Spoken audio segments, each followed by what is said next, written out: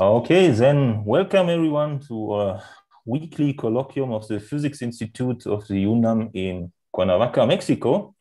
It's a pleasure for us that we have today Thomas Prosen from the University of Ljubljana in Slovenia here.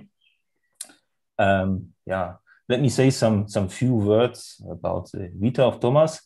Um, so he made his doctoral degree in um, uh, Slovenia. It's the University of Ljubljana, where he is also now a full professor, I think since 2008. Um, yeah, his um, main research interests are in open uh, quantum many body systems and uh, exactly solvable systems. And yeah, just to mention um, some prizes uh, which he obtained recently. There's the Alexander from uh, there's the Bessel Award from the Alexander von Humboldt Foundation and um, an advanced grant from the European Research Council.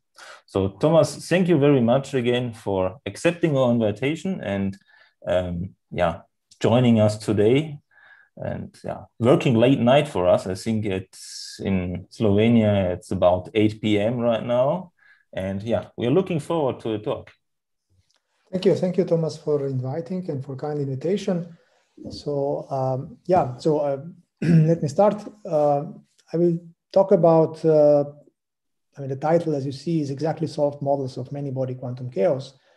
So it's a kind of uh, uh, beginning of my kind of old dream coming true, essentially. I mean, it's a, um, it's a, it's a, it's a basically a threat of, of, of the work which started like three years ago together with these two heroes down there, uh, Bruno Bertini and Pavel Kos. Pavel Kos is my current PhD student who just handed in his thesis. So basically what I'm talking to you now is basically his PhD work over the last three years. And uh, this was largely assisted also by a postdoc in our group, uh, Bruno Bertini. So, and uh, just to give you a short menu of what I'm trying to cover in this, uh, in this talk, is a bunch of recent papers, uh, basically two PRLs and a PRX and SciPost publication, uh, which uh, basically report results, uh, which I, I, I told you already, I mean, I find personally very exciting because it's kind of my, my, my, my, my, my dream coming true in a sense, because, you know, um, I started kind of working for my PhD. I worked on quantum chaos in single particle problems like billiards and so on and uh, you know i was always dreaming of you know what should be really the the corresponding uh, properties of corresponding quantum chaos properties of many body systems. And um, in particular you know for those of you who have who have studied chaos classical chaos theory you know there are these paradigmatic examples of baker maps and cat maps which are exactly solvable which you can teach in a class on a blackboard right? In 20 minutes you can solve for correlation functions of cat maps and baker maps right even though the trajectories are algorithmically complex and means that they are unpredictable. But you know, statistically, these models are exactly solvable, right? So this is what I have in mind by exactly solvable models of quantum many-body chaos. Namely, I was kind of missing for you know last 20 years of my career. I was kind of dreaming of a, a theory which would be quantum many-body analog of let's say Baker and cat maps. So models which would be non-integrable and chaotic. Let's say they would be following random matrix uh, spectral statistics, but uh, they would be solvable in a sense that you know you could prove that they follow random matrix, for example, or you could even compute correlation functions. And that is sort of the agenda of my my, my, my colloquium today. So to present you with some, I mean, some simple ideas, you know, how, I mean, or even simpler models. I mean, around these models, we build simple, simple, simple methods, right?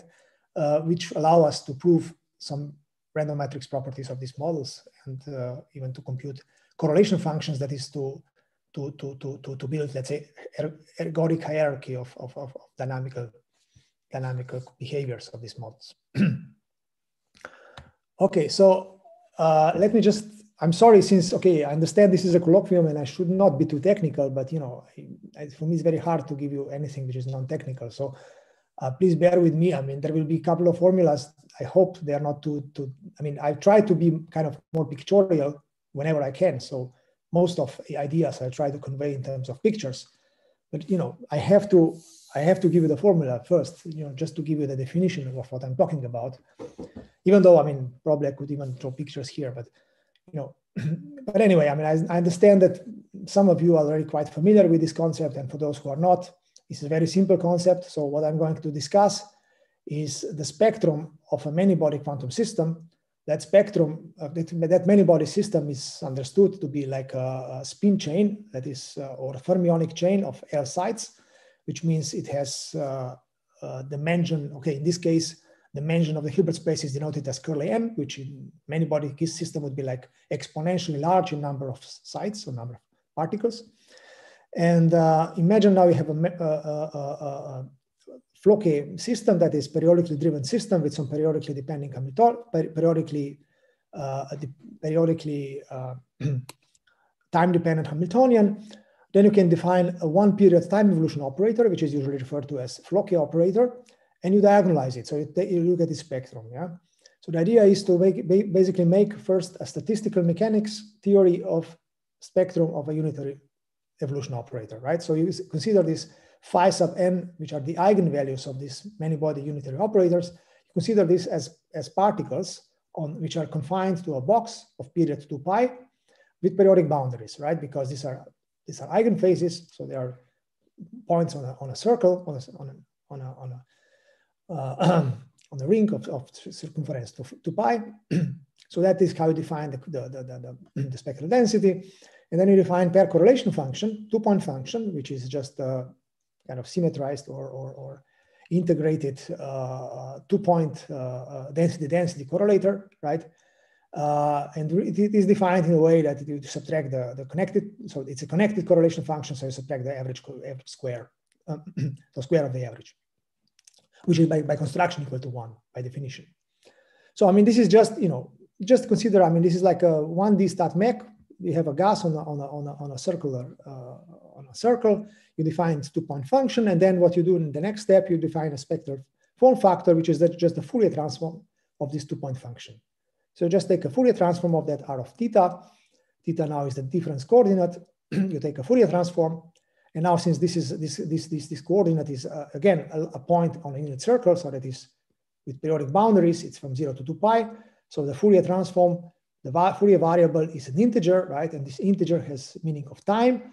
It's a number of revolutions or repetitions of your Floquet driving, of, of, of your Floquet protocol. So I mean, that is basically what enters in the argument of the spectral form factor. So the time, remember now for us is discrete. Yeah. I mean, this is of course, you know, I could just start from, you know, Hamiltonian dynamics and then this time it continuous and then you could define a corresponding spectral form factor if it continuous time. But, you know, all this is kind of totally analogous to that, but in discrete time, it's kind of simpler and more kind of easy to treat. So let's consider time discrete and then this spectral form factor, which is just the Fourier transform of spectral two point function has this expression. So it's a double sum, right? This is a, just a simple, straightforward calculation. It's a double sum over uh, e to the it, difference of the phases. and now this, of course, is just the modulus squared of the trace of the evolution operator, right? Because the evolution operator has eigenphases e to the it phi, phi sub m. So I mean, this is just the trace of u to the t, modulus square. So but that's very nice. So it means that, okay, if you can compute uh, a trace of your dynamics, I mean, which is kind of uh, average uh, uh, uh return probability or return amplitude, if you want, averaged over random states, because you can represent trace as an average of random states. If you compute, if you have some access to that dynamical feature, then you can also, also describe, discuss uh, uh, uh, spectral prop, I mean, spectral correlations of eigenvalues. I mean, correlation properties of eigenvalues. Now, there is one caveat, of course, which one has to, uh, which one has to stress immediately, which is that this quantity has no meaning unless you do some averaging. So this quantity is not self-averaging, and one has to do either moving time averages, for example, I mean, which is you know the method of choice if one want to stick with individual dynamical system, or you take an ensemble average over uh, some family of dynamics, right? I mean, we don't want to, I mean, at least in my talk, I try to discuss models in which this averaging is very, very innocent, meaning that I take a small ball of systems in some parameter space, and I even let this uh, ball shrink to zero. That is, you know, radius of this ball going to zero at the end. So I really want to basically consider this averaging just as a technical tool. Not, I mean, I don't want to consider disordered systems. Okay. so now let's first see what random matrix theory teaches us about the spectral form factor. Again, in the context of uh, discrete time dynamics, I mean, random matrix theory, this is, in the, this is called uh, then circular or Dyson circular ensembles of random matrices. And uh, one knows, of course, that this should correspond to discrete time dynamics with or without time reversal. Namely, when you take circular unitary ensemble of unitary matrices, then this corresponds to cases without time reversal. And then you can basically compute this spectral form factor or, the, or this expectation value of spectral form factor simply by Haar averaging over the unitary group. And this integral can be computed. You can find it in any textbooks on random matrix theory, and you find this linear ramp. Yeah? So this is the, the characteristic feature of, let's say, chaos. Quantum chaos is the linear ramp of spectral form factor. and that linear ramp should persist. I mean, for, let's say, absent systems without time reversal, should persist up to the so-called Heisenberg time, or up to time which equals the Hilbert space dimension. So the, again, remember, curly n for me is the Hilbert space dimension. So this also has a meaning of time scale. Namely, this time scale corresponds to to, to the inverse mean, uh, level level spacing, mean level spacing. And uh, yeah, and uh, beyond this time, of course, then you know you can beyond beyond beyond this time you can treat these phases as random numbers. So then the ramp should stop, and you get the plateau. So I mean, then if you have this uh, unitary ensemble, you have this linear uh, uh, form factor and then a plateau. If you have systems with time reversal symmetry, then this form factor is a bit more subtle. First of all, there is a factor of two, which comes from time reversal symmetry. And then you have a slope, which is two in the beginning. ramp has slope two, but then if you have a smooth connection to the plateau, again, around Heisenberg time, which is equal to n. And I will not say anything about the symplectic case. and uh, what I want to stress at this point is that usually what people expect is also there is a time scale after which actually this agreement, now, of course, this is what happens in random matrix theory, but if you look at what happens in real dynamics, in real dynamics, of course, you have some very short time scale in which uh, dynamics is very much model dependent, right? I mean, it depends on, uh, yeah, the structure of classical phase space if you want, if you have classical limit, but if you have a many body system, it depends on details of the interactions. Uh, this is what is expected. Of course, I will, tell, I will tell you that, you know, it doesn't, doesn't always happen that there is anything like non-universal regime, but what people expect based on decades of studies in quantum chaos that there is this Ehrenfest slash Thouless time. I mean, I'm saying that there are two names because some, nowadays this would be usually referred to as Thouless. In the old quantum chaos literature, this is usually referred to as Ehrenfest because it was related to semi-classical limit and small h bar. in any case, there seems to be a time below which there is no universal physics and only afterwards linear ramp starts and uh, you can get uh, uh, agreement with random matrices. of course, I mean, I didn't say, but you know, please feel free to interrupt me if there is any question. I, I, I don't know what is the what is the, the, the, the style of colloquium you prefer, but I, am happy to answer questions during the during the talk. Anyways, anyway, I'll, I'll try to make a bit of introduction just in order for you know for people who are not familiar with the subject to to get acquainted. So uh, let me just now give you another two, three minutes of introduction into the old questions of quantum chaos and how I got basically stimulated to think about this problem and also why I mean the whole community of quantum chaos where you know also people in in in in, in Cuernavaca are experts and pioneers of. I mean all these all these all these problems were kind of inspired um, or at least uh, uh, started in the late 70s beginning of 80s uh, when people started to look into uh, spectral statistics of simple problems like quantum billiards single one particle problems and uh, they use the idea of Wigner to use random matrices to model spectral, spectral, spectral correlations of that, those simple systems.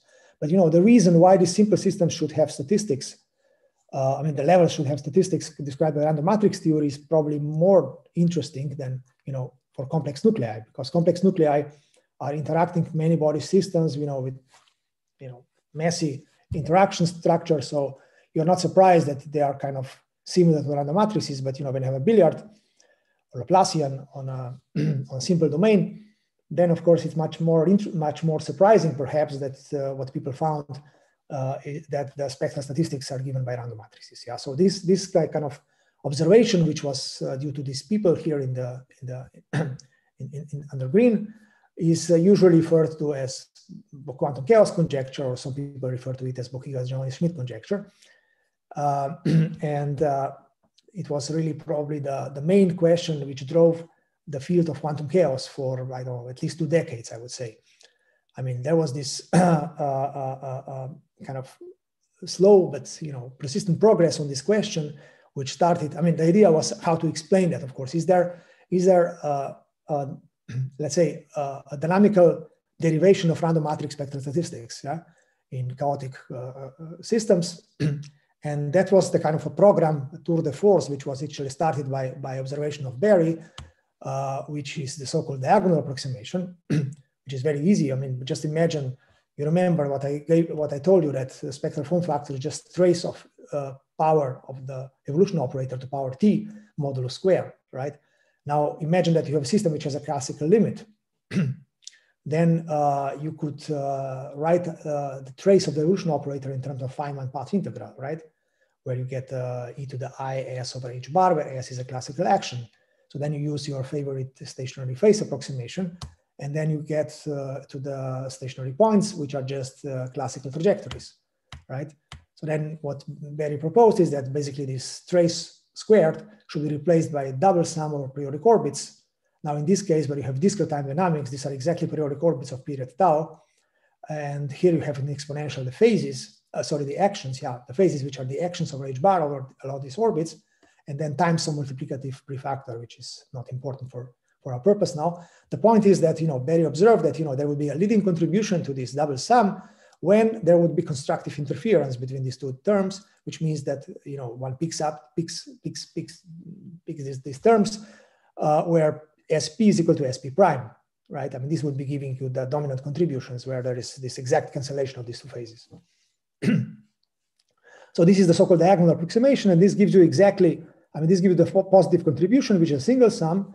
And due to the sum rule, which is uh, also known as Ozorio de Almeida Hannay sum rule, this is, again, I mean, it's just a restatement of ergodicity in classical phase space. This is exactly given as T or 2T. I mean, these two coming from time reversal symmetry, meaning that you have to also pair orbits not by itself, not when P is equal to P prime only, but also when P is equal to time reversed P prime. So, I mean, that's the simple explanation of factor of two.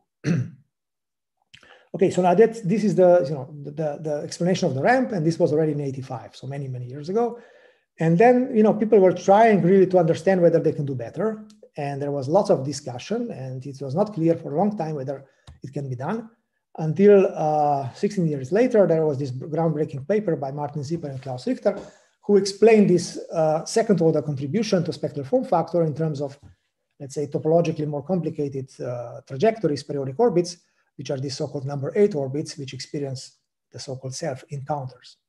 I mean, of course, I don't want to go into any details here, and it's not my aim to go there because my uh, uh, context later will be completely different.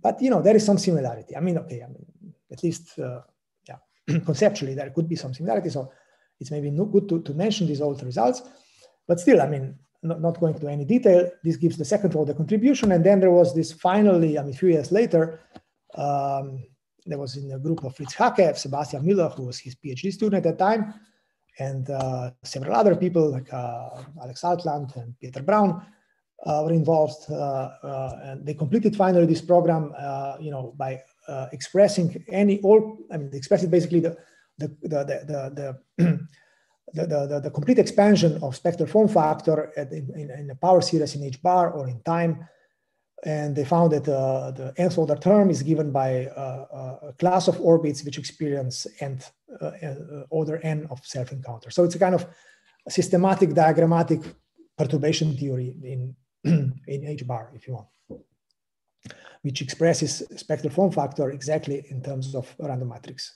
result.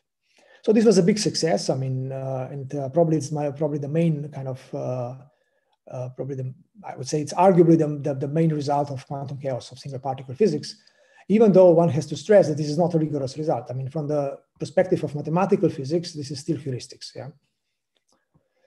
Uh, so there are still still work for mathematical physicists. That's what I want to say. it's not uh, that it's finished story, but you know, for from the point of view of theoretical physics, it's kind of a uh, achievement and result anyway, but uh, my, my, my kind of talk and my endeavor is not about systems with small h bar, but I would like to discuss systems where h bar is kind of maximally possible, which is like a order one, if you want, or uh, this is usually realized in fermionic systems or spin one half spin one half chains. So chains of particles with spin one half. And I'm just giving you kind of uh, a motivation for that. I mean, then again, I mean, this kind of, you know, it's, it's kind of, I mean, when one has enough, let's say, uh, uh, experience in science, then one now knows this interesting kind of cross fertilization of different fields. You know, people are coming from one field to another and so on. And what I experienced, for example, in the last 10, 15 years, that people from condensed matter community came and start using these concepts without really understanding what they mean. For example, I mean, there is this uh, you know notion of quantum chaos from Wigner-Dyson level statistics, which is simply for some people the definition of quantum chaos. They don't even think of what they mean when they say this is chaotic, but they simply say, oh yeah, this is Wigner-Dyson level statistics, right? So this has been so ubiquitous, so so so uh, common, right? I mean, take you take your favorite condensed matter theory model like this this spinless fermion model, which has uh, standard tunneling terms and uh, nearest neighbor interaction terms. Now this would be not totally standard because it has nearest neighbor and next to nearest neighbor tunneling and nearest neighbor and next to nearest neighbor interaction. Because if there was no next to nearest neighbor terms, this would be integrable. So no, not chaotic. But as soon as you switch on nearest, next to nearest neighbor terms, again, this is spinless fermions. So these are fermionic operators. This is number operator and so on. So if you look at level spacing distribution of these models, I mean, I didn't tell you what level spacing is, but I assume you have most of you have seen it. I mean, it's something that is much easier to, to, to compute numerically and experimentally at an spectral form factor, but it in principle has the same information. So if you look at the level spacing, I mean, you see that it goes from Poisson for integrable and it goes to Wigner-Dyson that is characteristic of random matrices when you have these integrability breaking parameters which are sufficiently strong. so I mean, this is time, I mean, I'm just giving you one example because this is from a review paper from 10 years ago, 11 years ago, but uh, you know, this literature is full of such results, and it's kind of becoming very common. So I mean, and um, the question is, of course, are you? I mean, are you puzzled? Why is this so? Because this Hamiltonian, if you just think of what this Hamiltonian is, I mean, how it can be represented in terms of in your computer. This Hamiltonian is a super super sparse matrix. I mean, for example, you take L sides. This Hamiltonian has just two L or four L elements in each row and uh, the Hilbert space dimension is 2 to the L. So it has of the order of log L, of log n, if n is the Hilbert space dimension, log n elements in each row. So its sparsity is going to zero, if you want, in the thermodynamic limit. So it's hugely sparse matrix. And there is no randomness, and there is just uh, of the order of three, four, two or four different matrix elements. I mean, J, J prime, and P and P prime. This basically give you all the matrix elements. So there is no randomness and uh, uh, hugely sparse matrix, but still people find that the spectral statistics is given by an ensemble of random matrices, by zero, I mean, maximum entropy ensemble of random matrices, zero structured ensembles. So there has to be a reason for that. There has to be a dynamical explanation for that. And that was kind of the idea the, that, you know, drove this kind of, that drives this kind of research I'm telling you about now. So, so how to explain that? find minimal models, find billiards of many body chaos, which you can really pin the, the, the mechanism of why you know get these spectral correlations, which are most easily explained in terms of this ramp of spectral form factor. okay, now just to, to go sweet, smoothly to spin chains and to uh, problem of computing spectral form factor for spin chains, I show you this result, which is uh, from the old paper with Carlos Pineda uh, and myself from 2007. Uh, at that time, it was not so clear what spectral form factor really means in many body systems, whether it can be a useful measure or not. So we just, with Carlos, we just tried to compute it. And this is also very pedagogical because it you know, teaches you what do we mean by spectral form, form factor being non-self-averaging. So here, Carlos really plotted spectral form factor with gray dots, with these black dots, you know, without doing any averaging. Yeah. So this is what, what happens. If you just ask your graduate student compute spectral form factor and plot it, this is what you get. You get a mess. Yeah.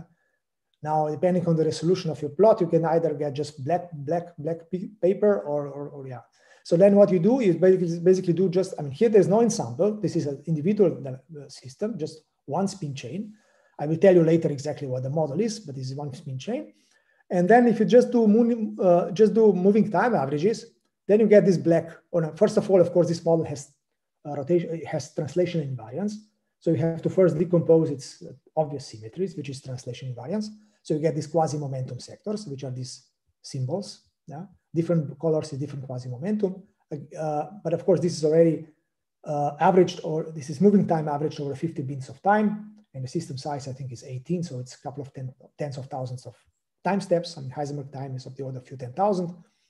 So, uh, so 50 is already quite, uh, first of all, enough uh, time window to get smooth data, but uh, small enough to get good resolution.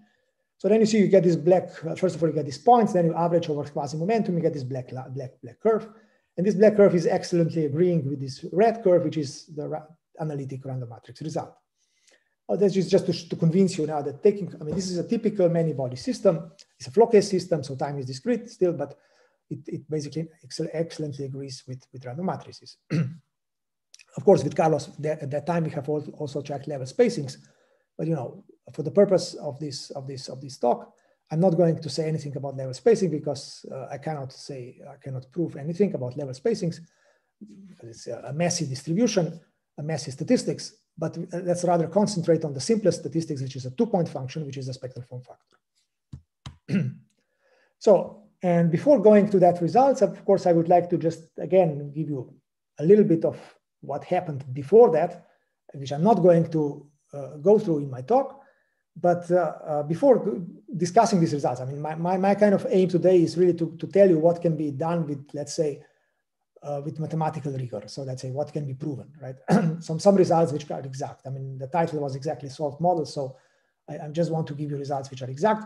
But before that, we actually had a couple of results. I mean, there was one result from our group, uh, again by Pavel Kos and another PhD student uh, on uh, again spin chains, kick spin chains, but with short, long range interactions. And uh, for that uh, class of models, we could actually develop a theory which was in a spirit similar to periodic orbit theory. And the derivation of spectral form factor was similar kind of to Berry's diagonal approximation plus Sieber-Richter corrections.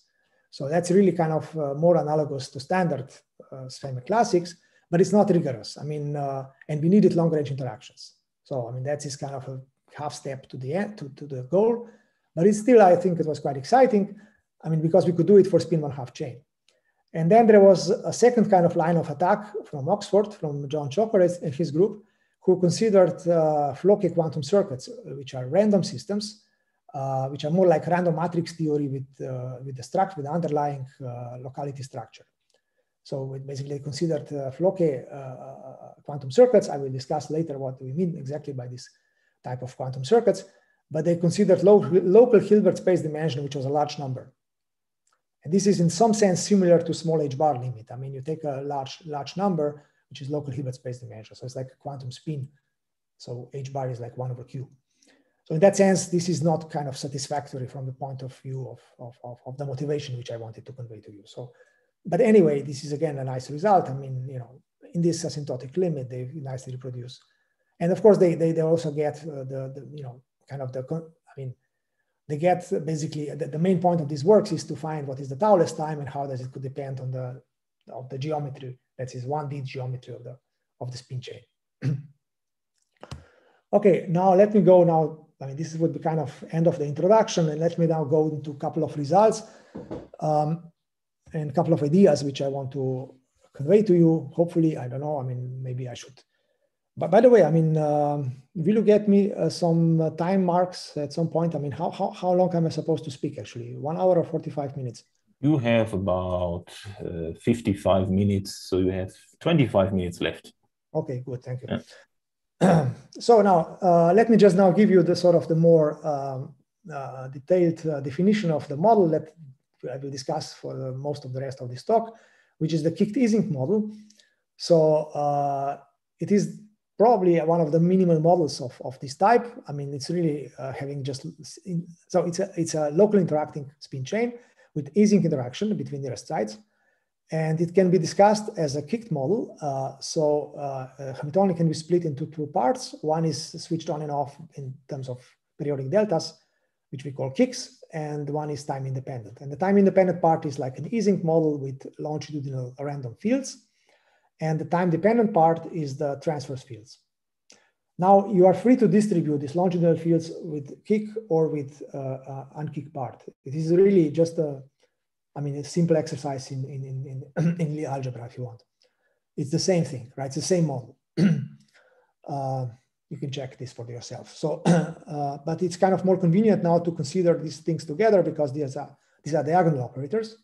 So these are, can be considered as kind of a classical, classical Ising model. And now this really makes the problem of diagonal, which means it makes it really quantum. It's really induces coherences. uh, okay, so uh, and then of course uh, the, the Floquet operator, which is just just a time order product uh, uh, uh, with this Hamiltonian is just a product of two exponentials e to the i h kick times e to the i h Ising. And there are two main parameters in this model, which is the spin interaction J and the magnetic field B. And uh, the HJ are the uh, uh, positional dependent longitudinal fields. And now uh, here comes my, my kind of ensemble of models. I mean, I now want to have some disorder. So I want to have now some randomness, which I will then manipulate later on. But you know, at the, at the outset, I want to have some randomness. And this is now hidden in the longitudinal fields. So this aj will be some IID random variables with some distributions, which have some variance and some mean. And uh, yeah, as I already mentioned, uh, maybe or maybe not, but this model, I mean, has, this is a model is rather rich family of models, and it contains two integrable points. So either the field is purely longitudinal, this, then this model is classical, it's diagonal, so it's really uh, uh, uh obviously integrable, right?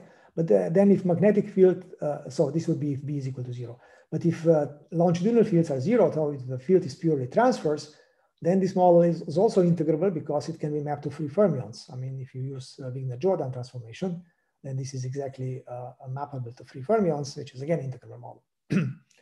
so, I mean, this is trivial points, let's say, or, or, or semi-trivial. Uh, now for generic AJ and B equal to from zero, this model has no symmetries and it's not integrable. So we expect it to be chaotic.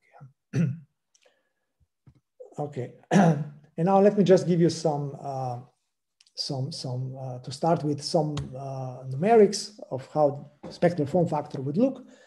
Uh, so for example, suppose now, as I told you already, these uh, magnetic fields would be IID Gaussian variables with mean H bar and variance sigma. So they would be kind of given, so the spectral form factor now would be given as a, a expectation over these random variables. And these random variables, remember, are the IID, that's important. So it's like a separable distribution of each I mean, independent random variable, which is a Gaussian, has a Gaussian kernel, and then you know you integrate it with this, you integrate k of t with this Gaussian kernel. Okay, so that's that's the, the object that I want to uh, to calculate later on. But now I'm just giving you sort of a snapshot of some numerics about this object. so if you just ask your PhD student, you know, to compute this, this is what you get. So um, it's a perfect, nice linear ramp. This would be like this. This for yeah, of course, I have to tell you what are the parameters. This is for, let's say, system of size 15. So the Heisenberg time is far to the right. So I plot here times between zero and 1000. So much less than the Heisenberg time, but still much more than any potential Ehrenfest or Thouless time. And uh, you see, well, there is nice ramp. And then, of course, there is different the data sets here, which depends on different, uh, they, they, they differ by different values of the, of the variance. So if it of the variance of the disordered field, so if the disordered field has a very large variance, which means that it's like a random between zero and two pi because there is this limit of two pi, because everything is you know cyclic. So if there is a maximum maximal random field, then uh, the fluctuations are smallest. But if the uh, random if the variance is, gets smaller, then fluctuations of the spectral form factor gets bigger. So for example, this is particularly severe at short times. At longer times, basically there is very small controlled fluctuations, but at short times, the statistical fluctuations gets larger. But again, you might think this is a problem, but it so happens that this problem is only finite size effect. So when you take larger and larger systems, again, these fluctuations at fixed sigma go down. And that's a, that's a result of uh, analytical theory, which I will discuss a bit later. So, uh, but of course, all that nice things uh, uh, happen only when this J and B in absolute value are equal to pi over four. So when, when the interactions and uh, field strength are uh, having uh, having this satisfying this the so-called self self duality condition and i will discuss what i mean by that so this is something which is important okay and uh, now what i will do actually i will try to interpret this uh, and probably this will be like one or two technical slides which i want you to bear with me i mean for those who basically do not want to bear with this, I mean, please, please simply ignore it. I mean, I'll try to compensate with words later, but for those of you who want to just catch some ideas of this, uh, of this, of this calculation, maybe it's useful. So I mean, first, the, the first idea is try to express this, this uh, spectral form factor uh, k of t in terms of 2D uh, statistical models. So as you know, there is this deep connection between 1D uh, classical uh, models in 1D, sorry, quantum models in 1D, quantum interacting models in 1D, and, and, and, and classical statistical models in 2D with local interactions both. And this you can actually do in this case. okay, sorry, I mean, I was just too quick. I just wanted to first discuss what we can prove, but then I wanted to give you the idea. So what we can prove uh, about this model and this particular self-dual points is that spectral form factor upon this averaging, so this is k bar, uh, for odd times is exactly equal to 2t if larger if time is larger or equal to 7, or it's 2t minus 1 for times less or equal to 5. For odd times and for even times, we cannot really prove things, but we have a well, well, I think, well, well-founded conjecture. Conjecture says that this spectral form factor uh, is 2t plus 1 for times large enough. And then there is some short time flux for t less or equal to, to, to 10. Okay, uh, so now, okay, I mean, I, I might uh, be a bit, I mean, I might explain a little bit why there is this difference between odd and even times and its peculiarity of this model. I mean, actually, I, I might even ignore this because, you know, for the colloquium talk anyway, these technical details are probably not so exciting. What is exciting, I think, is that this type of results can be proven even much in much broader class of models and this I'm going to go later. So, but anyway, this model is still kind of cute and, uh, you know, I like it and it's kind of historically the first I would like to speak about it, but, you know, it is a particular model and it is a, has, it has some peculiarities like this even and odd time effects, which are not there for generic self-dual models. Anyway, so what we did and what we can do here is basically we can prove the results about spectral form factor, which are uh, for any sigma and they are independent of sigma meaning that this model, you know, you have maybe heard that people have predicted many body localization for Floquet systems as well. So for this type of Floquet system, we can sure assure you that there is no many body localization because no matter what disorder, no matter the strength of disorder, if there is this one side disorder, side disorder, uh, there will be no localization. This model will always be a random matrix. I mean, it will always have random matrix statistics, so it can never get localized.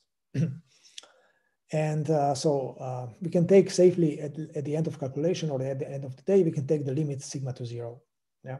So the clean, clean system limit at the end and we get the same result. Of course, the order of limits don't commute. So you shouldn't do limit sigma to zero in the beginning because then you have no disorder to average over. And you have a system with additional symmetry, which is translation invariance. So don't do that. Uh, and of course, another thing which is kind of cute is that the results are independent even of the average disorder, which means we can set average disorder to zero, average field to zero, sorry, average field to zero, which means that we are we, we basically uh, expand around the uh, integrable system. I mean, the limiting clean system is an integrable system. Anyway, okay, so uh, let me now just give you two slides of the idea how to calculate that. I mean, that idea is basically kind of behind most of these of these tricks. And uh, the idea is the following, as I said already, I mean, uh, first of all, what one needs to manipulate are the traces of the powers of the propagator. So the traces of the powers of the propagator of this spin chain uh, look like, and uh, really, I mean, they are technically like partition functions of 2D statistical models. The only problem is that, you know, in general, these partition functions, since they are not written in imaginary, uh, in imaginary time, they are written in real time and for Floquet dynamics, they are they are basically complex. I mean, so there is the weights are not real, the weights are complex. So they are not really probabilistic statistical models. They are they, they are algebraically like statistical models, but they are not, you know, the, the weights are not probabilities. Yeah.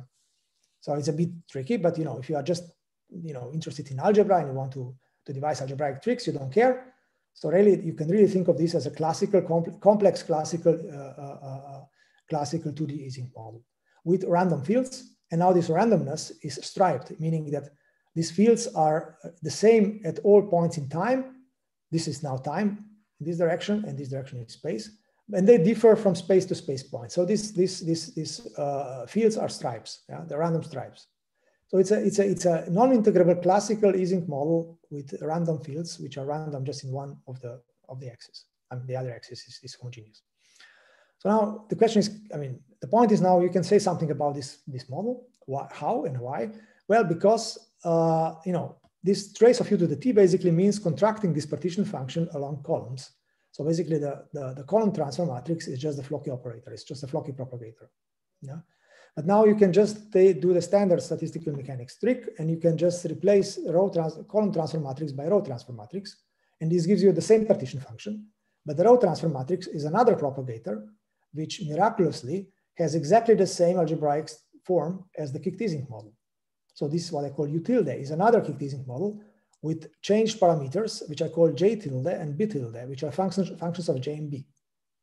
So there is a kind of a space-time flip or this duality transformation, space-time duality transformation, which replaces space and time and changes the coupling parameters J, B with J tilde, B tilde.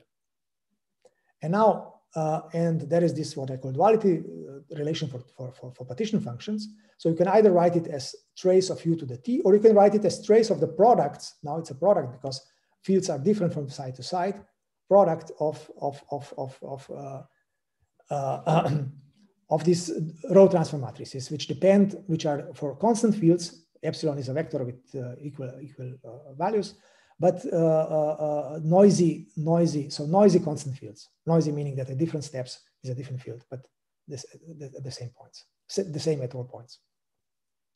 Okay, now I'm not sure if I said too much, too much around this because anyway, it's either, either incomprehensible or obvious, I guess. But uh, sorry, uh, but you know what is what I think is crucial here is that, of course, that at some particular points, namely at those points where j and b is equal to pi over four, now this dual propagator becomes unitary. I mean, the point is now this j tilde and b tilde are usually complex, and if they are complex, then this uh, dual uh, Floquet operator is not unitary anymore. But if they are real, then this dual Floquet operator is unitary as well. And that's super cool. I mean, if you have uh, two guys which are unitary, the standard time evolution operator, which is unitary by construction, and the space evolution, I call it space evolution because it's propagating propagation in space, unitary as well. We later call this dual unitary dynamics. I mean, this buys you a lot. This buys you basically that you can do exact statements. Yeah. And this has been actually noted also, I mean, I mean uh, for in for on slightly different, uh, in slightly different context, but for the same model, it has been also noted by, by the group of Thomas Guhr, in particular by Boris Gutkin and um, collaborators. Okay, so now what we do basically now, uh, what we have to do now to compute the spectral form factor, we have to take two replicas of this, of this. Uh, now, now spectral form factor is now a two, two point quantity. So you have to take two replicas and take trace of u to the t times trace of u to the t conjugate. So this is like having two, two, two diagrams like this. And then you just truncate, and then you just contract this partition function along uh, rows. Yeah. But if you do this along rows, then you can average over fields like this, I, like I indicated in this blue shaded uh, rectangle, because this is all that depends on H3. And that next row depends on H4 and that and so on and so forth. So which means that since the field is IID, I can basically average independently each row, even though I take two replicas. These two replicas just means that now my Hilbert space is a tensor product, but now I have an averaging. Averaging means that I have this Gaussian kernel, which is due to the coming from the Gaussian integral, which basically couples these two replicas. So now this, I have this transfer matrix. Now see, I mean, this is a calculation which is sketchy and probably I would need 20 minutes to really go into details to explain it. So I just leave it on the slide. And for those who have some experience with this type of calculations becomes obvious. For others, maybe, you know, they should really invest some time. But, but I, I think at least the main idea should be kind of clear. I mean, the fact that we can replace space and time means that you can basically average over IID disorder. And the fact that this dual transfer matrix is unitary means that things becomes very stable if you contract it over space direction. So now the point is that the spectral form factor now is a trace of T to the L, where T is now this double transfer matrix. And now you can go to thermodynamic limit, and by going to thermodynamic limit, basically you don't care. You just have to prove that this spectrum, this, this transfer matrix has a gap, and that the leading eigenvalue is at one. And then what you have to do is you have to count the multiplicity of eigenvalue one, which gives the spectral form factor. So now the spectral form factor is trace of T to the L If you know that there is a gap, this means in thermodynamic limit. And of course, you have to first know that the spectrum of this beast is in unit disk. If the spectrum of this disk is in unit disk, then of course nothing can explode. Then everything can either contract to zero or stay uh, stay at one if it's on one at one. So what we do, and then I will not do this for you, but you can find it in the papers. But what we can do and what we have done, we have shown that there is eigenvalue one. This guy has only one eigenvalue uh, at unit circle, which is eigenvalue one. This eigenvalue can be multiply degenerate, and the degeneracy is, is exactly 2t. And the spec, the rest of the spectrum is gapped from the unit disk inside the inside the complex plane, uh, from the unit circle inside unit disk. So so it means that in thermodynamic limit, everything else but eigenvalue one dies. So which means that spectral form factor in thermodynamic limit becomes equal to 2t. so that's in words and in one picture, you know, this result, uh, which is uh, was was was uh, written at the theorem I showed you two slides ago. Okay, now this is just in another sentence what I already explained to you. and I will not give you any, any, any, any, additional arguments. So with that, I would now close this uh, part on kicked Ising model, and I try now to generalize. I know, okay, first, you know, you might want, you, want you, you, you might say first, I mean, this is one simple model, one fine-tuned model. You ask this self-dual point, which is very particular point, right? I mean, two parameters have to be fine-tuned. So maybe this is so special, I should never care about. So let's now see whether we can basically find a more general class of models for which this dual unitarity condition is true. So now, now let's play a little bit with quantum circuits models, which are also very interesting from the point of view of quantum simulation and coming quantum, you know, quantum computing uh, technologies, right? I mean, this mm, Google's supremacy uh, uh, uh, experiment, quantum supremacy experiment basically is, has been performed on models which are like quantum circuits or models like this. So let me just uh, define as the simplest kind of uh, local quantum circuits models, uh, which are given in terms of two particle gates. So now let's assume now we have D uh, site D, D level quantum systems. So uh, each of the local Hilbert spaces has dimension D. D might be considered to be equal to two, for example, for spin one half or for fermions. So, and then you imagine you have this, this, this uh, this, this uh, um, unitary, and this unitary would be like mapping uh, state i cross j to state k cross l, right? And this would be like in state and out state. And in terms of a diagram, this would be like a, a, like an S matrix if you want. You have two states in and two states out. Now, and I will now plot my circuits. I'm sorry now for the confusion. I will now plot that circuit such that time goes vertically. So everything will be built up in time direction vertically. So now I go, ij is in, knl is out. Yeah. But now what I will already do, I already did in this formula here, I also defined another way of looking into this picture, which is left to right, which is uh, I, I, IKL in and JL out, which is like just taking things, I mean, flipping things around the diagonal and considering now time going left to right, or now this fictitious time, if you want, going left to right. So now, uh, of course, I started with the unitary uh, circuit. So I started with the condition that U should be unitary, but now I ask, what is the extra condition I have to satisfy that this U tilde, which is defined in this way, which is propagator left to right, uh, the, this way you define this reshuffling or, or tilde mapping. So uh, the, the question is now under what condition and how, you know, how restrictive is the condition that not only U is unitary, but also U tilde is unitary. And we call these conditions, the pair of the, the, the pair of conditions being satisfied, we call dual unitarity. So we call circuits which are built of such gates dual unitary gates. And uh, probably I, am not sure how I'm going to go with time now, but probably I will not have time to classify these dual unitary gates for you. I might, but uh, depends. I mean, maybe I you have about 10 minutes. Have, okay, we'll see. We'll see how it go. But I, before I just uh, go into that, I simply tell you that for the qubits, we can actually classify these gates. And um, and we can convince ourselves or convince you that uh, uh, there is only two, I mean, basically there are only, only two extra parameters to fine tune with, res with respect to general unitary gates. So general unitary gates of two qubits have 16 parameters, right? It's U4 is for uh, uh D square, it's 16. Uh, three parameters, three real parameters, but uh, dual unitary gates with for qubits is uh, two parameters less. There are two extra constraints. It's like 14 free parameters. So it's not very, it's still a very rich family. I mean, it's not, uh, you know, super fine tuned if you want. Yeah. but anyway, so now having these dual unitary gates, now let's build dual unitary circuits. So this would be like uh, fabrics like this, space-time fabric, like, you know, going from uh, bottom top would be like uh, starting from, let's say this would be a case, an example for six, uh, uh, uh, so system of length six, which would be like 12 qubits, one, two, three, four, five, six, and so on to 12 qubits, which are now propagated for two full time steps or four half time steps, right? I mean, this is now Floquet dynamics and full time step is like two layers. So this is depth two, if you want quantum algorithm, which is repeated by two times to, to, to simulate the evolution of a K circuit for the time steps.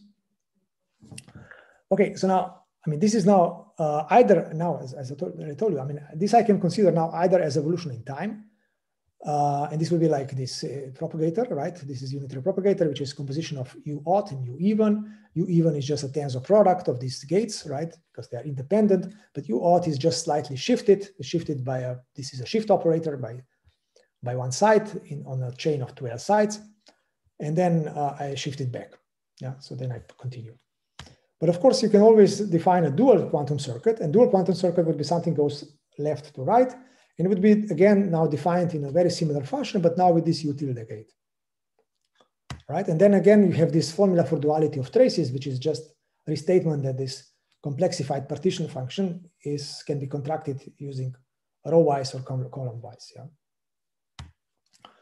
Okay, and now uh, before going to correlation functions, I mean, the rest of the, the talk would be on correlation functions, but before that, I would just like to announce a recent result, which is just two months old, or three months, well, few months old, which we have put on the arXiv in December, which is a generalization of our kicked Ising model result to arbitrary, let's say, uh, uh, to arbitrary quantum, essentially arbitrary self-dual quantum circuits.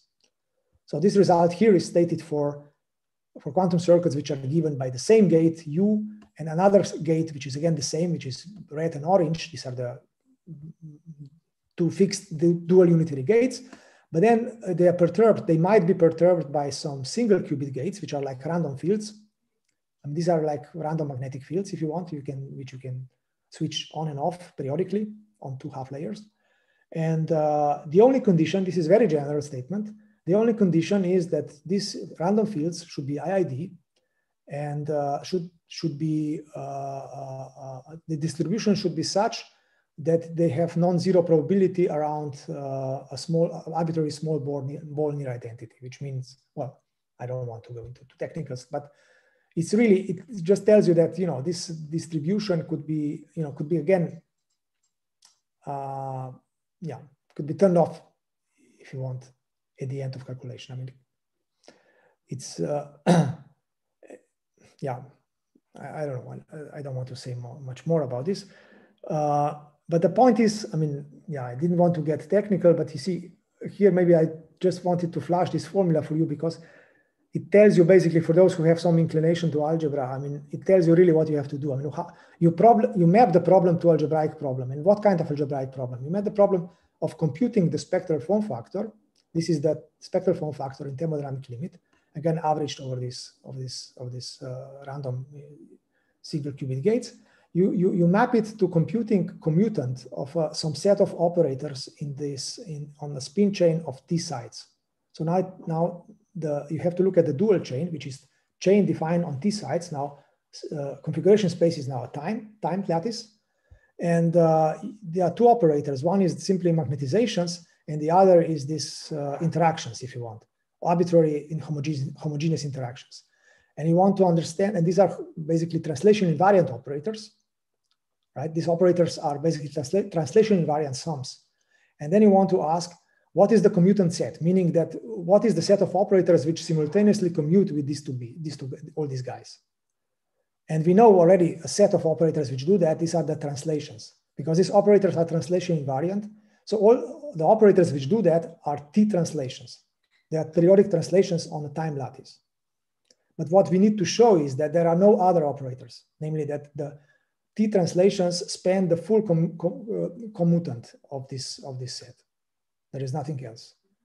So that's basically the idea how to prove ergodicity. I mean, that's that's one way how to, I mean, okay, I don't want to again, here gets very technical and mathematical. So, but but I think I mean you get the flavor, I guess. What is the what is the what is the mathematics behind this? Yeah, and it's it's really very very different from you know from what people needed to do in semi-classics. Yeah?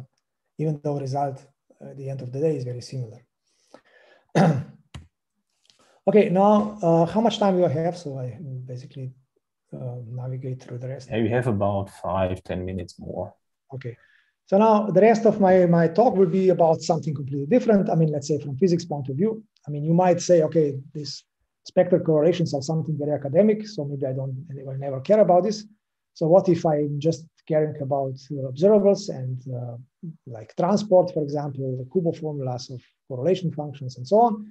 So what about if I want to calculate correlation functions? And here is basically a statement of about correlation functions of these dual unitary circuits. So if you have a correlation function, then the correlation function you would compute uh, in a circuit geometry like this, you would take two operators. Now this is a correlation function between two local operators. I will call them A uh, alpha and A beta. Suppose now again you have D-level quantum systems, then you have a full set of local operators, which are by construction, let's say all possible traceless operators, while A0 is identity. So basically you take operators such that the first operator is identity, and the others are all orthogonal to identity, meaning they are traceless. So orthogonal in the Hilbert-Schmidt sense. So that's a natural ordering. Like this is the case for the Pauli operators. This is the case for the Gell-Mann matrices. They are all, always, people always organize this way, this operator basis in this way. So we'd always be able to isolate uh, uh, traceless operators, right? And these are the physically interesting ones. So the traceful operator is identity, which is alpha equal to zero. So now we are only caring about alpha and beta different from zero. And now you take these two traceless operators, you place them at positions x and y, and you shift one of them by t time by, by, by time t in future, right? So basically what you have to do is basically you have to evaluate this type of diagram. You take a beta, you you you put you, you equip it with u to the t and u to the minus t, so meaning that you you basically fold it with uh, with this uh, uh time propagation, and then you you multiply it by a alpha and then to take the trace and taking the trace meaning is, is like considering periodic boundary conditions for this diagram in vertical and in horizontal directions. Horizontal direction simply means that you take periodic system, but vertical periodic boundary conditions meaning that you take the trace. So that's that's basically what basically what you have to do. And now you you you try to use unitarity and dual unitarity. And the fact that your circuit is dual unitary, meaning that the evolution is unitary in space and time direction, means that basically, I mean, now I'm just using words because I have no time and no interest to show you formulas. But uh, the, this, this basically gives you a, a quite deep statement about uh, all possible non-zero correlation functions. Namely, all possible non-zero correlation functions can now be only those which are propagating exactly with the speed of light or with the maximal speed of uh, uh, signal propagation, which is one in this case. I mean, this is like a quantum cellular automaton and speed of propagation is one. Is one one extra, one extra block per time step. And all other correlators should be zero. Why? Because we have this dual unitarity, meaning that this circuit is causal in space and it's causal in, it's causal in time, meaning that correlations are going only non-zero within the light cone, but it's causal in space. Correlations are only non-zero in this other light cone. So they are only non-zero on the intersection of two light cones, which is the light ray. Right? So, I mean, this is basically a statement, a non-trivial statement about temporal, temporal correlations temporal correlations, spatial-temporal spatial temporal correlations between two operators, alpha, beta. Uh, let's say x now is uh, distance is the distance between two points. I mean, I already uh, simplified it a bit. I didn't comment. I mean, this c, c plus, c minus are defined like this. So this is already homogeneous coordinate x minus y. And now you see this is a non-zero only when x minus y is equal to plus minus t. And in that case, correlation function can be contracted like this simple diagram and this simple diagram is, you know, for those of you who have maybe seen something like this before, I mean, this is like uh, one of the representations of completely positive maps. I mean, this is like a basic, basic tool of quantum information of open systems. I mean, it's like you take this A beta as the initial state, and then you propagate it by one time step. You just apply a completely positive map, which I call M plus here, and now you apply it t times or two t times. And now the correlation function is simply now one plus of correlation function of this one plus one D quantum system is now reduced to a temporal correlation function of a zero D dimension of zero D dynamical system, but it's open. It's now in this Kraus or, or Stinespring or whatever they call this representation, right, of an open quantum system. So it's a, and it's this is a completely positive map. It's not only completely positive, it's trace preserving and unital. and it's more than that because this U is dual unitary. so it's a particular type of unital maps. Okay, and now uh, just diagonalizing these unital maps, you see that they have to have a spectrum inside unit disk. And depending whether there are eigenvalues on the unit circle or not, dynamics can either be non-interacting, uh, non-ergodic, ergodic but non-mixing, or ergodic and mixing. I mean, I mean, it's too, it's not enough time to go through this uh, in detail, but for those of you who have experience in classical chaos theory, you know what I'm talking about. So, I mean, you, you can basically just uh, classify ergodic behaviors of these many-body quantum systems according to this standard, let's say, uh, ergodic hierarchy nomenclature of ergodicity and mixing. Okay, uh, now I promised you that I will have a slide about full classification of dual unitaries for qubits, but I think I will safely skip that because it's just a technicality. I already tell you, told you that in words. And uh, one other thing, now I'm just going through some slides quickly just to tell you what else one can compute, but not with any, any detail. So for example, one can compute, for example, also the operator spreading of, or, or operator, uh, uh, yeah, what people nowadays called operator spreading. So, um, or uh, sometimes also you, you, you hear a word operator entanglement. So uh, looking at the uh, uh, entanglement of operators as a function of time, which are growing because, you know, starting with a local operator, applying the, the, the, the, quantum circuit, you basically fatten it, right? Because, for example, take a local Pauli, you do one iteration of time, you take like products of three Paulis, one to the left, one to the right. You take another step, you have string of five Paulis, two to left, two to the right, and so on. There is this locality structure which opens up, and you can consider this type of growing operator as a state, as a superstate. Then you can consider its entanglement, its correlation structure. And uh, you know, just look at the Schmidt decomposition, for example, with respect to some bipartition. And you find that this entanglement structure, entanglement spectrum, if you want, of this operator, uh, has some universal features, yeah? And uh, this is something which is characteristic for chaotic systems or for random circuits if you want. So for example, this operator entanglement can grow, can grow at most linearly in time, can grow slower, can grow logarithmically, for example, if you have models which are localized, but models which are ergodic would have operator entanglement which grows linearly in time. And again, for these open quantum, for these uh, dual unitary quantum circuits, we can provide some analytical results on operator entanglement growth. and even we can provide some sort of evidence of some kind of phase transition, non-equilibrium phase transition with respect to this J parameter. Now I didn't really tell you what J was, but it's kind of one key parameter in the parameterization of this dual unitaries. So J is really the chaos, you know, small j means chaotic and large J. J is equal to pi over four means swap, means non-interacting circuits, let's say. Now, I, of course, this is all in, too quick, I guess, so I, am just giving you a flavor of that, so don't worry about this. Now, I had a hope that I would be able to tell you tell you something about the last part, the last paper, in the remaining few minutes. But I think don't think I have remaining few minutes, so I'll just give you a short ad for that. I mean, it's a paper which was just published in PRX uh, one uh, two months ago, uh, again with Bruno and Pavel. Uh, and the idea is basically, I just tell you the conclusion of the idea because the idea is why I think this should be kind of taken with some interest. I mean, you can again say, okay, I'm telling you about specific fine-tuned class of models. I mean, I can stretch my legs and say, okay, I mean, this is not so fine-tuned, but at the end of the day, it's still fine-tuned. So why should you care about this? Well, there is one simple reason why I think one should care about this, because I believe, or there is an evidence, at least uh, some little evidence, that this type of models can be structurally stable. And what does it mean? It means that, you know, it's similar, again, if you remember your textbooks from dynamical systems, you've maybe seen somewhere that models like cat maps are structurally stable. So perturbed cat, cat has the same sort of topology of dynamics as cat maps. So nothing really changes with perturbed cat maps. So what if nothing really changes if you shake this type of models? So what if we can prove results about ergodicity of perturbed, of perturbed dual unitary circuits? And this is what we are trying to do next. So this is the first step of this kind of program has been published in this uh, paper. And of course, this has been very uh, in very limited context and a very constrained uh, condition, on a very constrained type of perturbations. But still, I think it's a proof of concept. I mean, it, that it would, I mean, at least the conjecture or hypothesis makes sense that these models might be structurally stable.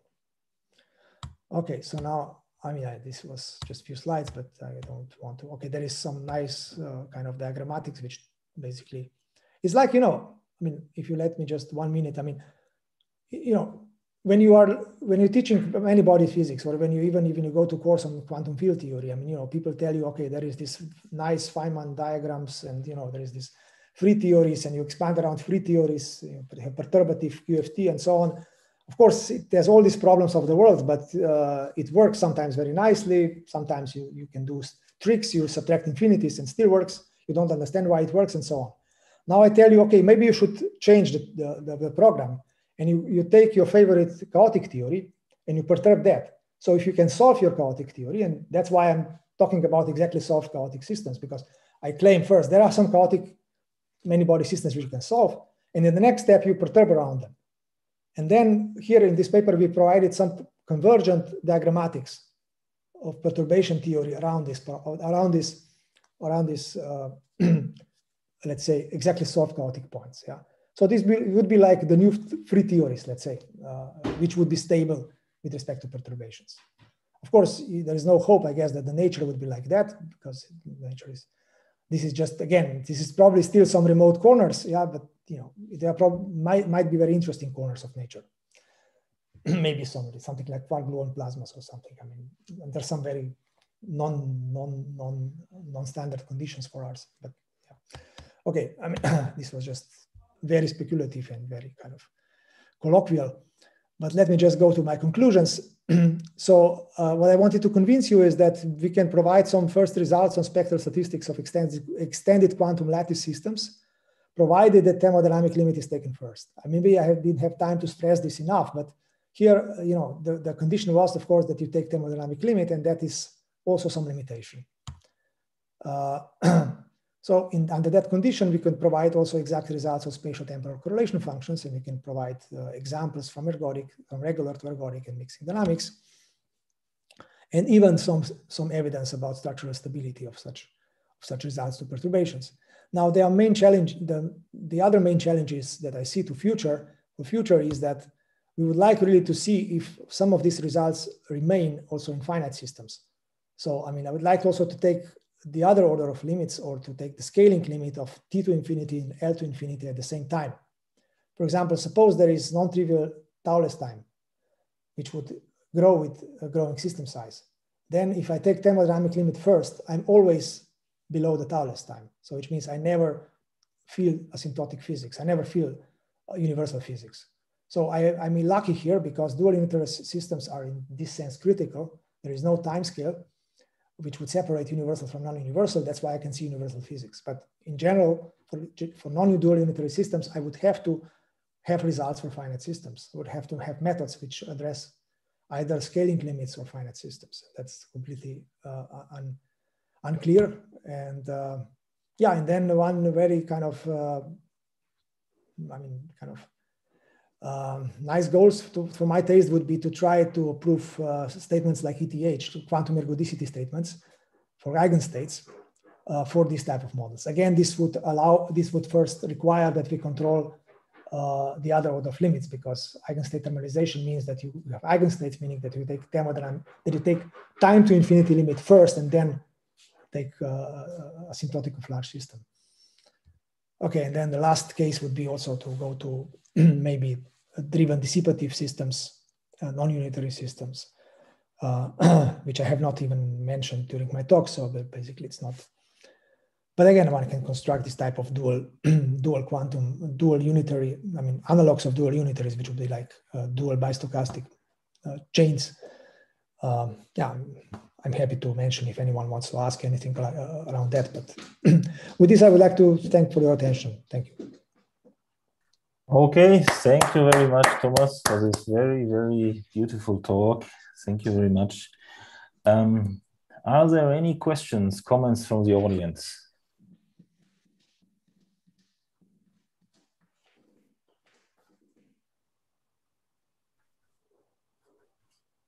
Well, I would certainly have a comment if there are no other yes. questions. Thomas. But first of all, thank you, Thomas, for an interesting talk. Though it was long, it was quite exciting. And uh, as many of you know, I worked with Thomas since a very, very long time. I didn't follow him in this many body localization direction, but uh, I was impressed because he was uh, the first numerically to show, I guess, in his most cited paper, that there could be something like that. It was a very impressive effort. And now uh, there were some uh, rumors going around and papers who claimed that they could prove that it always existed. And certainly Thomas proved that it doesn't always exist because there are clearly counterexamples. And that is in itself important. I believe you haven't pointed out that you have also some numerical evidence that even in these not exactly soluble models, uh, it still uh, seems not to go always all the way, and maybe it will never go all the way. When I first saw it, I sort of intuitively said, it cannot be, it cannot be. There cannot be, in the strict sense, um, any-body localization. And it's almost proven. And uh, here it is. And uh, the, the point is that uh, nevertheless, it is important because we never have infinite systems.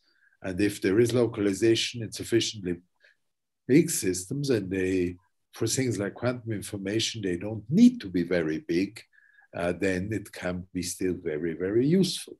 So uh, I just want for those who are not so deep in to say there, that there is this very famous paper of Thomas uh, after only a few years. How many citations by now? Approaching 2000 or something is impressive.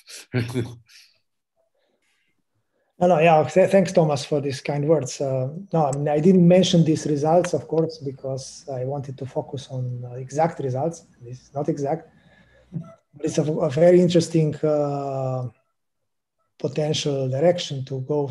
I mean, I mean, I prepared one slide which I just skipped, but um, um, which I believe is, I mean, again, this is spec, it's a speculative slide. So, uh, but you know, this is a, some results on spectral form factor in generic circuits, non-dual unitary. And the idea is that uh, there should, there might be some universal exponential decay of k of t minus t in time. So for uh, um, yeah, mean, so that means that there would be there might be some sort of bound like this, and uh, that bound, I mean, of course, I have no idea how to prove that bound, but if I if I can prove that bound for generic circuit for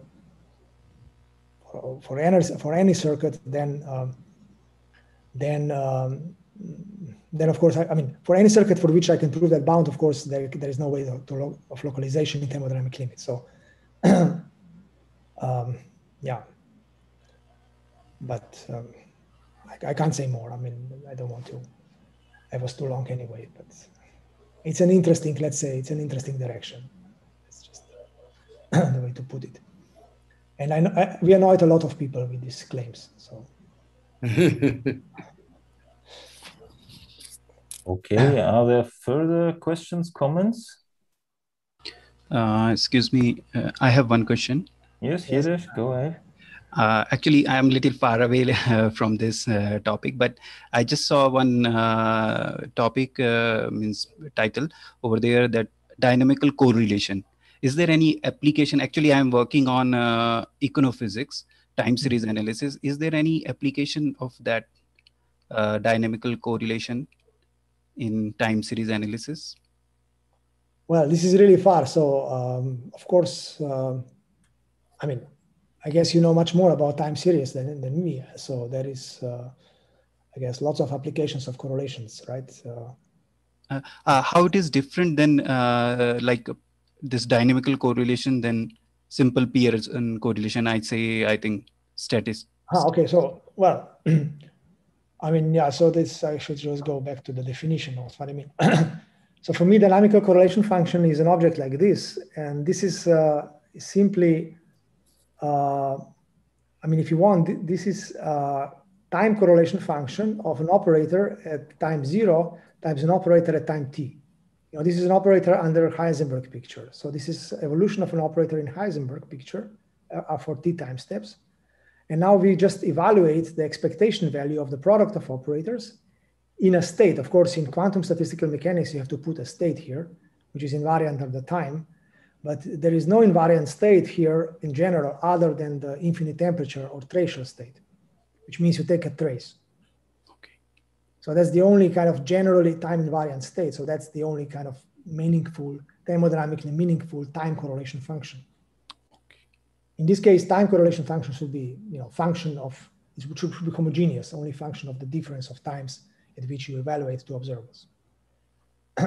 so in that sense, these are the standard statistic equilibrium correlation function, equilibrium time correlation functions.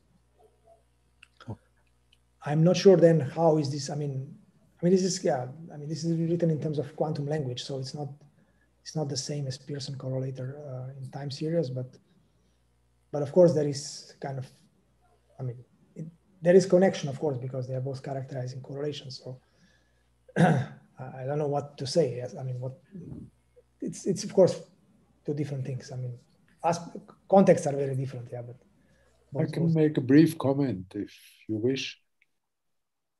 The uh, I mean, th there is a line of work which I haven't pursued. Well, I have observed it. I haven't done any research in it, where you with classical correlations, there are two lines. One is to compare a correlation function at one time to a correlation matrix at one time to correlate it with a correlation matrix at a different time.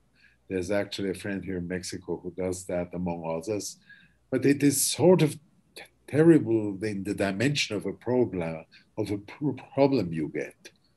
Or you can simply correlate the time series with a with the same uh, well a set of time series with an with the same set but shifted by a certain amount in time, and that uh, will give a non-symmetric matrix, and then there is a whole uh, bunch of mathematics about these time shifted series, which are sort of like the off diagonal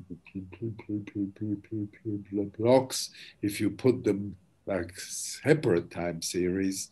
And uh, it's um, uh, complex eigenvalues. It gets messy. There are results. I'm not sure to what point they have been actually applied to practical problems. But they are quite interesting and analytic results. Among others, my friend Vinayak has published on that, maybe together with Luis Benet, I'm not quite sure. He should be here probably. Am I right, Luis? I think he was here, but yes. already left. Yes, he has left. I think they published something together on the subject. Okay, are there further questions, comments? Thomas, I have I have a question. Uh, you showed this for this uh, um, uh, fermionic interacting chain. You showed these even odd effects in time in this in the k function. Um, are there any um, experimental uh, proofs of some properties? Are you aware of something like this, or let's no. say uh, experimental? No, not, actually, that's not that's not actually so difficult. So, uh, I mean, we have been discussing with some uh, guy from New York already, and uh, uh-huh. well, I mean, I don't know what happened afterwards, but uh, as far, I mean, it's okay. It's not trivial, but it's also not impossible. I think to mm-hmm. measure these things. So I think eventually, which, which actually, there is a, that. There actually, no, sorry, there was a paper by Zoller actually who actually proposed really concrete measurement of spectral form factor. Okay. So I can actually even dig this out for you if you want. I mean, there was a paper by Zoller in 2020, beginning uh-huh. of 2020, uh, his group, who proposed really the what to, I mean, how to approach this uh, measurement.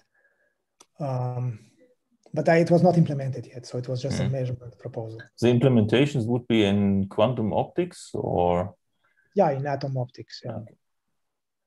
But uh, of course, I mean, now, of course, in, in, case you are able to measure it, then uh, you should see that even out effects. Yeah. yeah.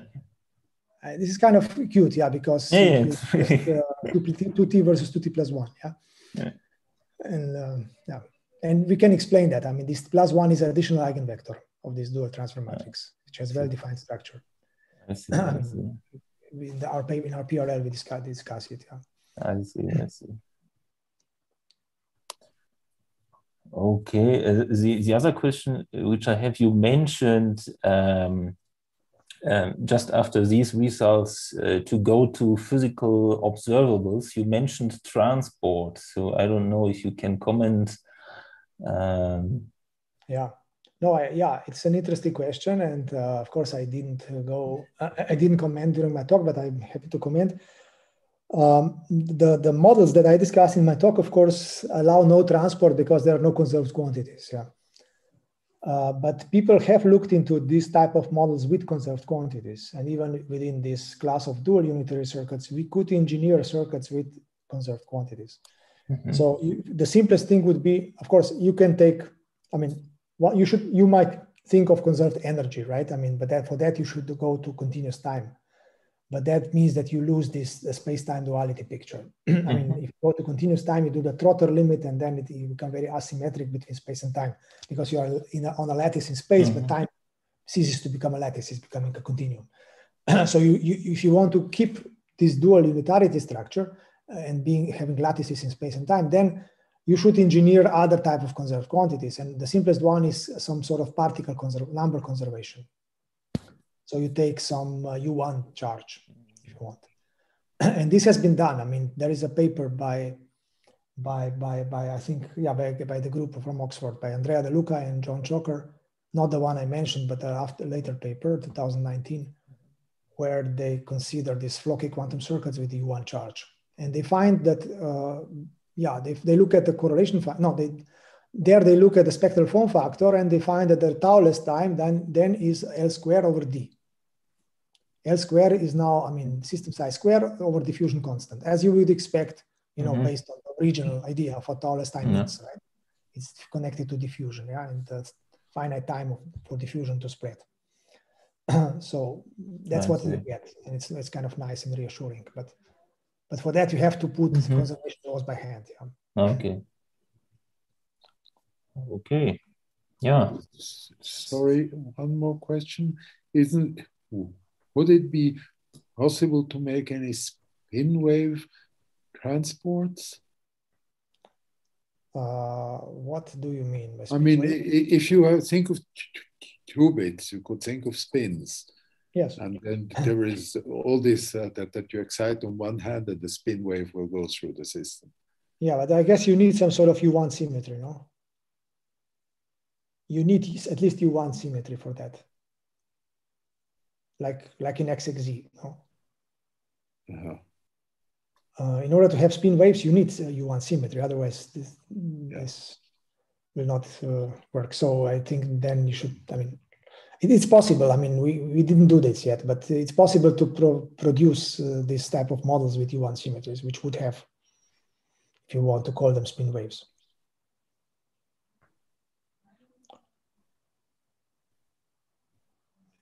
And then it's not clear. It's not clear what this dual unitarity would imply for, for correlation functions of that.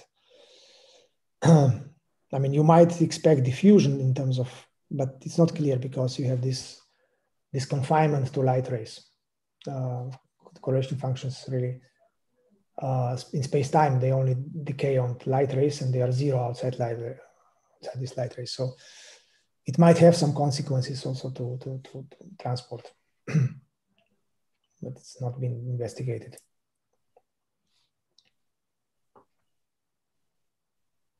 Okay. Are there further questions, comments? Well, if this is not the case, Thomas, thank you again. Thank you very much for, for joining us today via Zoom. We all would have preferred to do this in person, but you know. yeah. yeah. I hope it will be possible the next time to have yeah, you here in Cuernavaca. Normal soon. Yeah. Okay. Okay, then thank you very much to all of you and